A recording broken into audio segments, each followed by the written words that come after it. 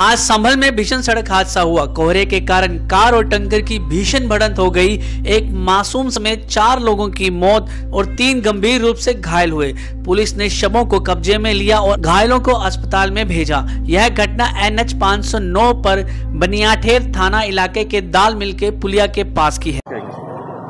Chandausi Moradabad road पर एक WagonR गाड़ी, एक टैंकर से टकरा गई थी आज सुबह, जिसमें सूचना मिलते ही पुलिस तुरंत मौके पर पहुँची। यहाँ पर इसमें से चार लोगों की ऑन द स्पॉट डेथ हो गई है।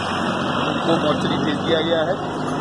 इसमें से तीन लोग अभी घायल हैं। इनको मुरादाबाद के लिए रेफर किया गया है। बाकी मौके पर यातायात सामान्य कर दिया गया है तथा अन्य वैधानिक कार्रवाई की यूपी से सागर अहमद सफी की रिपोर्ट।